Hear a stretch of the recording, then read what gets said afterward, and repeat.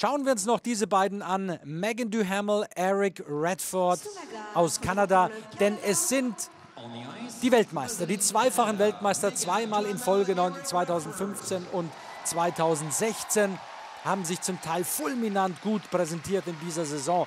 Sagen auch, dass sie eigentlich gut vorbereitet in dieses Kurzprogramm gestern Abend gingen, aber dann passierten doch einige Fehler und die wollen wir uns näher ansehen. Ihre Musik von Seal Killer.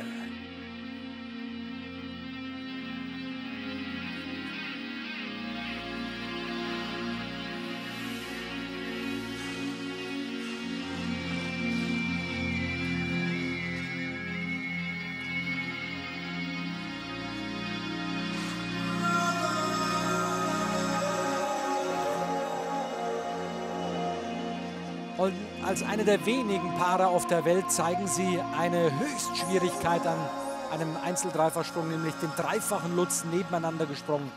Hier sollte er kommen. Kleiner Fehler bei Megan, Sie haben es gesehen, Hand auf dem Eis. Und dann haben sie überlegt, was machen wir?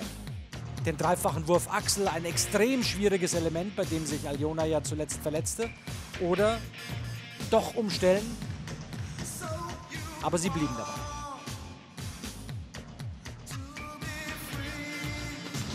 Völlig schief in der Luft, keine Chance.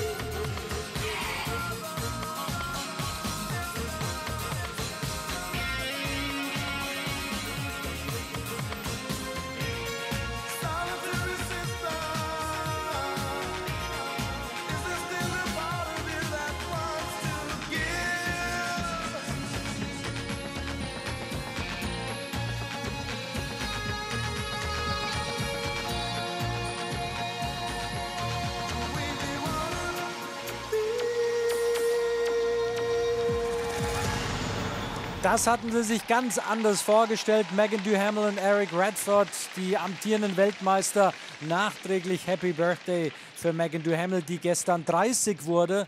Und das war nicht das Geschenk, das sie sich erhofft hatte. Und sie haben diskutiert nach dem Kurzprogramm und Eric hat als Zitat wortwörtlich gesagt, wir müssen uns nach diesem Wettkampf überlegen, ob es sich lohnt, dieses hohe Risiko zu, ge äh, zu gehen, diesen dreifachen Wurfachsel zu machen. Denn es ist ein hohes Risiko, aber es wird trotzdem, wenn es gelingt, nicht so hoch belohnt.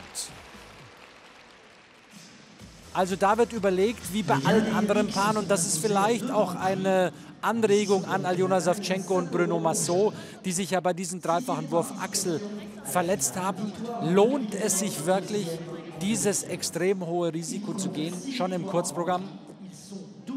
Vor allem bei Aljona und Bruno, dann ja auch der vierfache Wurf Salcho und auch sie haben ja vierfache im Programm.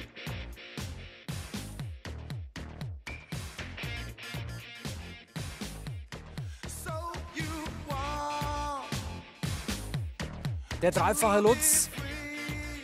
Ja, sie stand eigentlich gut in der Luft. Da hat vielleicht die letzte Konsequenz nur gefehlt. Und hier der Axel, der war schon ganz schief in der Luft und da hatte sie keine Chance, sauber rauszukommen.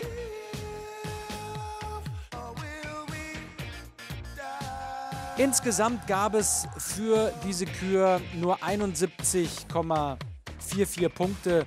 Das ist ja gute sechs Punkte von ihrer Bestmarke entfernt. Und deshalb liegen die amtierenden Weltmeister nur auf Rang 3. Wir verlassen mal hier das Kurzprogramm, gehen jetzt live rüber in die Halle.